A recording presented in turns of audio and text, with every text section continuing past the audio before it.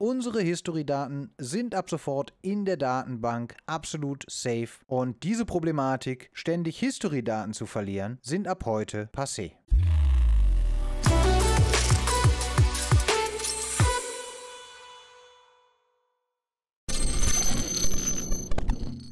Hallo meine lieben Freunde des gepflegten Kabelsalats und herzlich willkommen zu einem neuen Video. Heute wieder zum Thema Home Assistant und zwar möchte ich mich heute mal einem Problem annehmen, was mit Sicherheit die meisten von euch kennen, die Home Assistant im Einsatz haben. Und zwar geht es um die Datei homeassistant-v2.db. Diese Datei ist die History-Datenbank für Home Assistant, heißt, da werden alle Zustandsänderungen drin protokolliert. Und wenn ihr in dem Menü auf der linken Seite auf History klickt, dann seht ihr da die Daten, die in dieser Datei abgespeichert sind. Ja, aber von was für einem Problem reden wir denn jetzt eigentlich? Also, der erste Indikator, dass ihr ein Problem mit dieser Datei habt, ist, wenn ihr auf History klickt und Home Assistant euch sagt, er findet keine Daten. Denn dann ist meistens diese Datei korrupt. Das ist aber noch der harmloseste Fall. Im schlimmsten Fall startet euer Home Assistant gar nicht mehr oder irgendwelche Integrationen funktionieren nicht mehr. Und in vielen, vielen Fällen wird einfach empfohlen, lösch mal einfach diese DB-Datei. Das ist aber halt ziemlich ärgerlich, denn man möchte diese Sensordaten ja auch irgendwann mal auswerten. Und wenn man die alle paar Tage löschen muss, dann geht das nicht. Ich möchte euch im heutigen Video einfach mal einen Weg zeigen, wie ihr das Problem komplett aus der Welt schaffen könnt, diese Datei nie wieder löschen müsst und somit eure Sensordaten für immer behalten könnt. Ganz kurz beschrieben, bevor wir loslegen. Wir installieren uns dafür die Datenbank MariaDB. Diese kommt direkt im Supervisor als Integration mit Home Assistant mit. Wir müssen also gleich nur auf Installieren klicken, dann ein bisschen in der Konfiguration einstellen, dass der Recorder eben nicht mehr diese Home Assistant V2DB Datei benutzt, sondern direkt seine Daten in diese neu installierte Datenbank schreibt, den Home Assistant neu starten und dann war es das eigentlich auch schon. Aber ich zeige euch das natürlich jetzt nochmal Schritt für Schritt, damit ihr auch ganz genau wisst, was ihr zu tun habt, damit dabei auch nichts schief gehen kann. Und ich würde sagen, damit starten wir jetzt direkt und wechseln mal runter ins Büro. Ja, hier seht ihr jetzt mein Home Assistant und ich würde sagen, wir legen auch direkt los. Nochmal eben kurz zur Erinnerung, worum ging es es ging um die Datei Home Assistant v2db, also um diese Datei. Die wird leider immer mal wieder zu Problemen führen, also versuchen wir sie abzuschaffen. Was müssen wir dafür als erstes tun?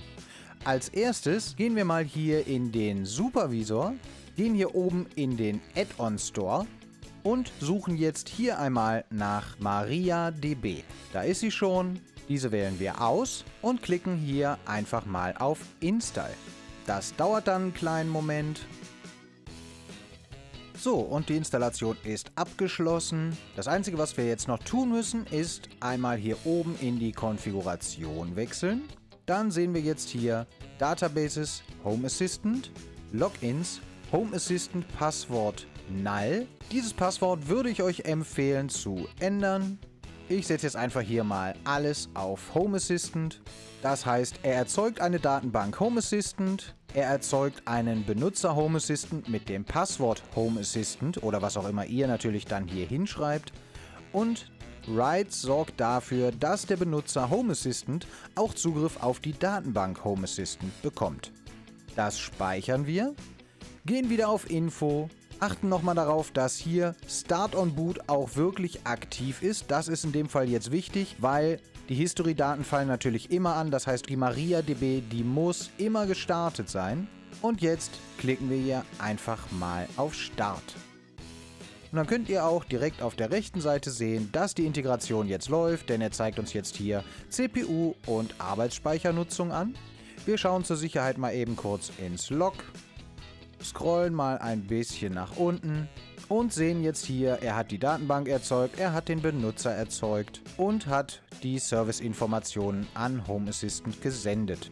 Insofern hat hier alles funktioniert, die Integration ist erfolgreich gestartet. Jetzt müssen wir nur noch dafür sorgen, dass Home Assistant diese Datenbank auch verwendet, um alle History-Daten zu speichern. Dafür wechseln wir jetzt mal in den File-Editor denn wir müssen jetzt unsere Datei configuration YAML bearbeiten. Das könnt ihr natürlich auch, wenn ihr die Samba-Freigabe zum Beispiel aktiviert habt, über einen beliebigen Texteditor eurer Wahl machen. Ich scroll jetzt hier auf jeden Fall mal nach ganz unten. Hier habe ich schon einen Kommentar Entity Recorder hinzugefügt. Und hier stellen wir jetzt ein, dass Home Assistant alle History-Daten in unsere gerade installierte MariaDB einträgt, anstatt in die bisher vorhandene Home Assistant V2DB. Schauen wir uns dazu aber mal eben kurz die Dokumentation von dem Recorder an.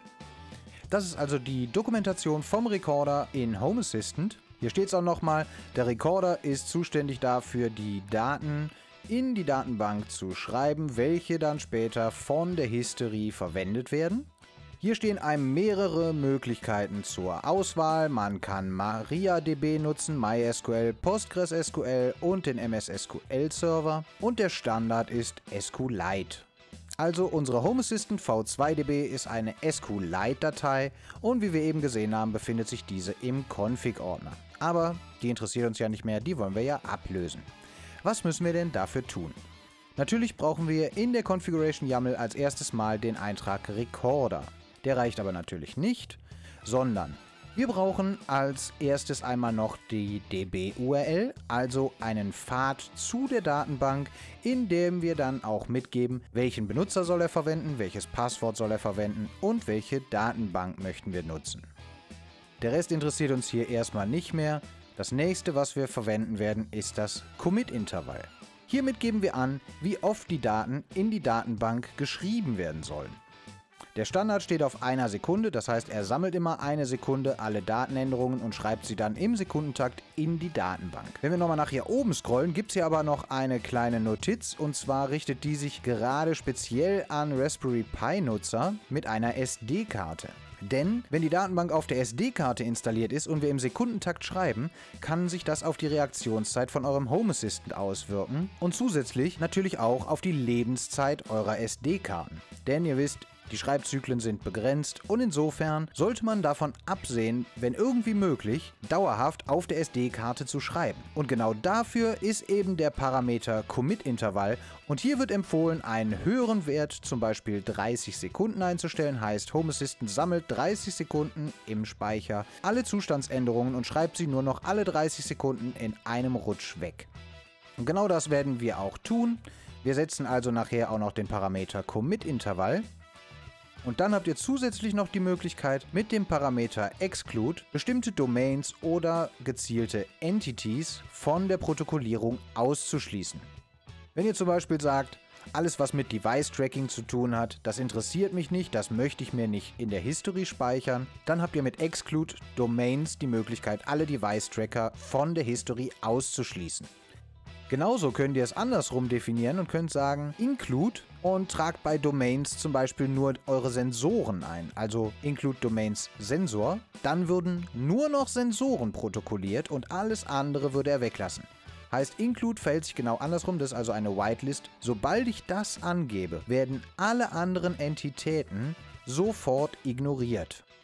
Das hier ist jetzt mal ein Beispiel für so include oder exclude. Heißt, hier würden zum Beispiel alle Entities vom Domain-Typen Alarm Control Panel und alle Light Entities protokolliert, aber das Küchenlicht Light Kitchen Light würde nicht protokolliert. Das hier wäre also die Ausnahme von allen Light Entities.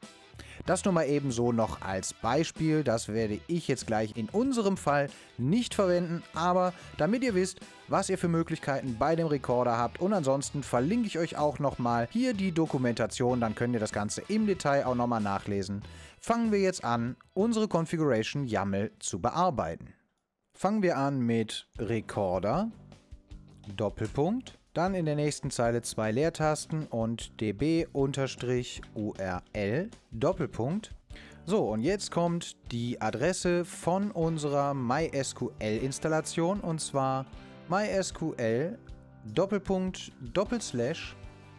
Jetzt kommt der Benutzer, das war bei uns Home Assistant, Doppelpunkt, darauf folgt das Passwort also in unserem Fall wieder Home Assistant oder was auch immer ihr da angegeben habt als Passwort.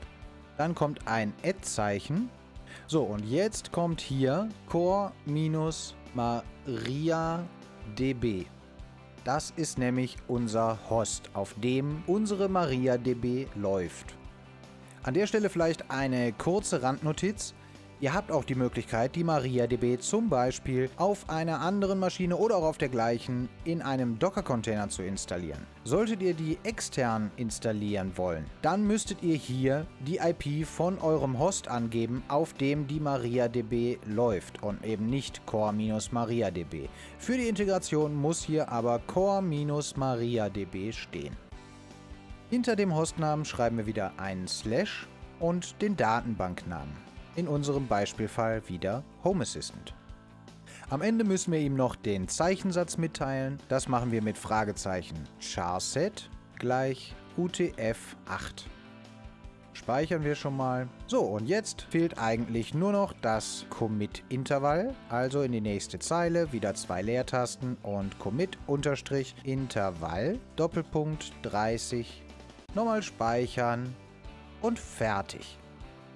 Jetzt haben wir Home Assistant mitgeteilt, dass er eben seine Daten nicht mehr in die lokale Datei schreiben soll, sondern auf unsere neu installierte MariaDB Integration. Speichern soll er nur noch alle 30 Sekunden. Ja, und insofern können wir jetzt in die Einstellungen wechseln, auf Serversteuerung. Wir prüfen einmal unsere Konfiguration und sagen jetzt Neu starten. Okay, und jetzt müssen wir kurz warten. So, unser Server ist neu gestartet und zum Überprüfen reicht jetzt eigentlich schon ein Blick in die Benachrichtigungen. Wir sehen, es gibt keine. Und das ist auch gut so, denn benachrichtigen würde er uns jetzt hier nur, wenn etwas schiefgelaufen wäre und er den Rekorder nicht hätte starten können, weil zum Beispiel der Benutzer, das Passwort oder sonst was in der URL falsch ist oder ähnliches. Dann hätten wir jetzt hier sofort einen Fehler bekommen haben wir nicht, insofern funktioniert das Ganze. Wir prüfen es aber trotzdem mal eben und schauen mal ins Logbuch. Und dann sehen wir, hat er jetzt hier schon einige neue Sensordaten erkannt. Ja, einige ist gut, es ist sogar schon jede Menge. So, aber um zu testen, ob das Ganze jetzt wirklich funktioniert hat, sagen wir jetzt mal, wir hätten gerne die Daten vom 12., also von gestern in meinem Fall. Und dann seht ihr, keine Logbucheinträge gefunden und insofern können wir davon ausgehen, er hat wirklich jetzt alles umgestellt auf die neue Datenbank. Natürlich bei diesem Umstellen gehen jetzt noch einmal alle Daten, die wir bisher erfasst haben, verloren, aber ab jetzt brauchen wir uns da keine Gedanken mehr zu machen. Unsere History-Daten sind ab sofort in der Datenbank absolut safe und diese Problematik, ständig History-Daten zu verlieren, sind ab heute passé. Ja, soviel zum Thema nie wieder History-Daten in Home Assistant verlieren durch Löschen der Home Assistant V2DB. Ich hoffe, euch hat das Video gefallen und ich konnte euch damit ein bisschen weiterhelfen. Sollte ich noch irgendwas vergessen haben oder ihr noch irgendwelche Fragen haben, lasst mich gerne unten in den Kommentaren wissen. Ansonsten, wenn ihr Hilfe zum Thema Home Assistant braucht, schaut gerne bei uns auf unserem Discord vorbei. Link dazu findet ihr auf dem Kanal bzw. auch unten in der Videobeschreibung. Ansonsten, wenn euch das Video gefallen hat, zeigt es mir gerne mit einem Daumen hoch Abonniert auch direkt den Kanal und klickt auf die Glocke, wenn ihr kein Video mehr verpassen wollt. Ich würde mich freuen, wenn wir uns im nächsten Video wiedersehen. Verabschiede mich hiermit und sag einfach bis zum nächsten Video. Ciao!